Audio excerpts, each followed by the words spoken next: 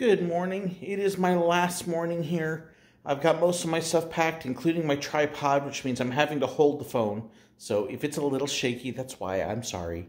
Uh, but was doing my morning devotions here before I actually got ready to uh, head out and start heading home. And just read this passage that just hit me upside the head. Um, started convicting me some, um, but also one that I, I think a lot of us need to hear.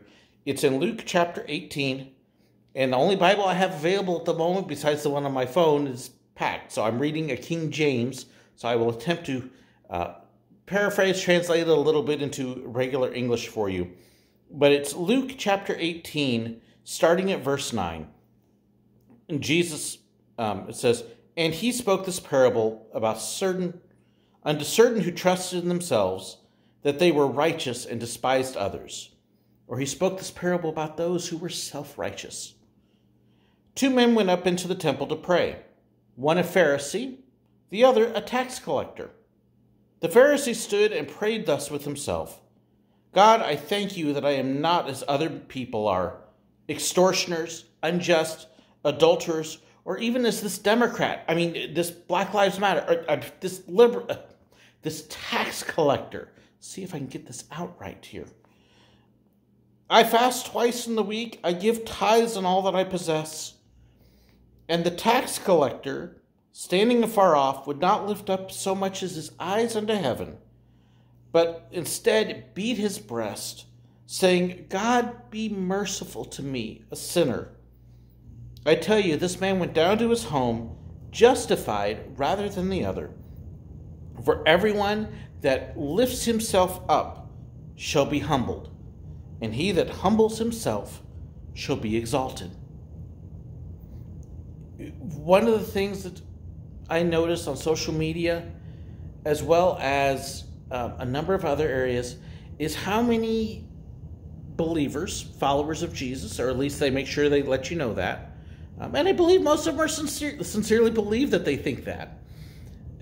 How much they show how holy, how exalted, how self righteous they are, not realizing they're falling into this trap.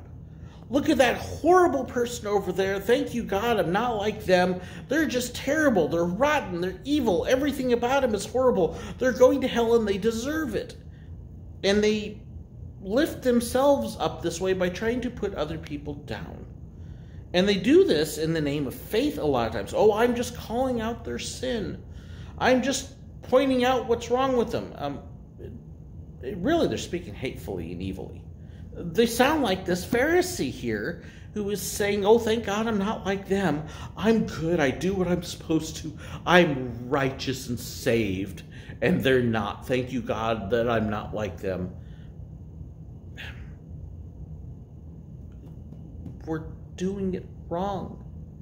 Uh, I had, I've seen people say over the years a number of times, yes, but Jesus, when he spoke to the Pharisees and when John the Baptist ripped into the Sadducees, and and I'm kind of going, okay, you know, one, there's two things going on there that don't apply to us. One, they're saying it personally to them, which we don't a lot of times. Um, and okay, three things here. Two, the people they're talking to are the self righteous religious leaders. In pretty much every single case where John the Baptist and Jesus rips into somebody, they're self righteous religious leaders. In fact, I can't think of an exception to that. Which says something about their criticisms. They're not speaking to the unsaved, they're speaking to the ones who think they're saved and, do, and showing the right way. Second, they're John the Baptist and Jesus, which we are not. Uh, Jesus is pretty clear that's not our job, and in fact, when his disciples did so, he rebuked them. It, it's one thing to call out a sin, especially on a public figure when a public figure sins, but it's another thing to write them off as evil and debased and you know and rip into them personally. Okay, we can call out you know, hey folks, that's a lie. It, it's not true. He shouldn't be saying that. It's a lie. It's another thing to say he's a liar, evil personified going to hell. It, that, that doesn't work. Okay?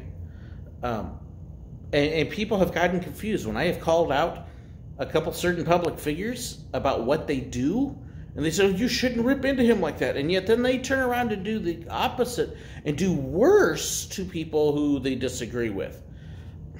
Uh, can we say hypocrite much?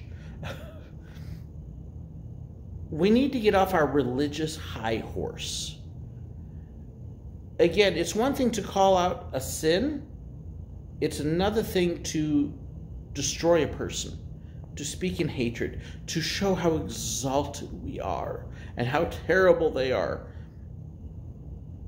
As long as we're ripping into other people, and doing like this Pharisee does, at least I'm not like them, those horrible, rotten people. Look how good I am.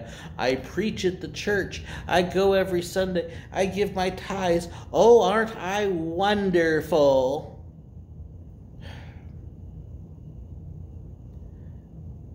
It, it it's sad. Um, and unfortunately, I, I'm thinking of so many personal examples uh, of people ripping into other people, ripping other believers, destroying other stuff. Um, I, I, I know one person, love him dearly, great person, but this college I'm wearing, he loves to rip it, hates it with a passion. I wish you'd go visit it. Might see people getting saved and filled with the Spirit and and everything else, but there's a fear there, and I spoke about fear the other day. Watch my Sunday sermon tomorrow. It's going to be about fear. But pride is a huge issue. And, folks, our church has fallen into the realm of the Pharisees. We've sold our souls to political stuff, and others, we've lifted ourselves up. We've tried to say how wonderful we are, how fantastic we are, and how terrible everybody in the opposite spectrum is, regardless of what the opposite spectrum is. I see this as well from uh, liberal Democrats, even though I kind of jokingly, let's be honest, most of my circle is conservative Republicans following Trump that's why I, I pick on that a bit. But if I was hanging around people who were all liberal Democrats, it would be the opposite. Okay, so it, it plays both ways. It really does. Uh, I, I, I try to follow God's side, not the political side. Um, although I have my leanings. Anyways, nice dichotomy. But I see such a pride there that, oh, thank you, I'm not like them. Lord, forgive us can we at least see what we really are and how debased we are and how torn up we are and what a mess we are? Can we get our pride out of the way? Oh Lord, I mean, pride is one of the seven deadly sins from Proverbs. Uh, and it's actually it, it's so bad it's actually listed twice if you think about it when you read the passage uh, number one and seven are both pride why is it doubly listed? Because it's such a bad problem. Because pride closes your mind to everything that God wants to actually say to you and do in your life. You can't hear it, you can't see it, because you are so puffed up and full of yourself. You can't see your own sin. You can't see when you're so blunt spoken that you hurt other people and you don't care. You can't see when you forget to show people that you love them because you don't care. You can't see when you've spoken harsh words because you don't care. You can't see when you ignore people around you and what they're going through because you don't care. Because you're so full of pride, you can't see it. And yes, I'm kind of listing things that I've been dealing with this week in my own life. Um, Lord, break down my pride. Forgive me for those things that I do wrong, for the people I hurt, for the people I alienate. God help me to speak truth, but speak truth in love. And forgive me for those I've hurt. God be merciful to me. I don't deserve it. I'm a sinner. I need your grace. That's the prayer all of us should be praying. That's the prayer we should be praying for others as well. For whoever it may be. God, have mercy on me. Have mercy on them. God, forgive us all because we're sinners. God, break through our pride God, destroy our pride. Get through it so that we can be the people that you've that you want us to be, that you've called us to be, that we're supposed to be. God, help us to be like this tax collector and not like the Pharisee. God bless.